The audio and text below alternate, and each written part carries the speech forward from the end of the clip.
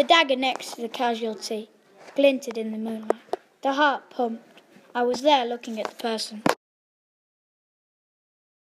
Cryptosporidium was lurking in the shadows.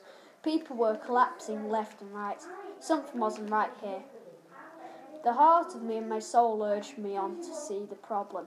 The deathly dagger that was sitting next to the casualty smiled, and its lips cracked and bled.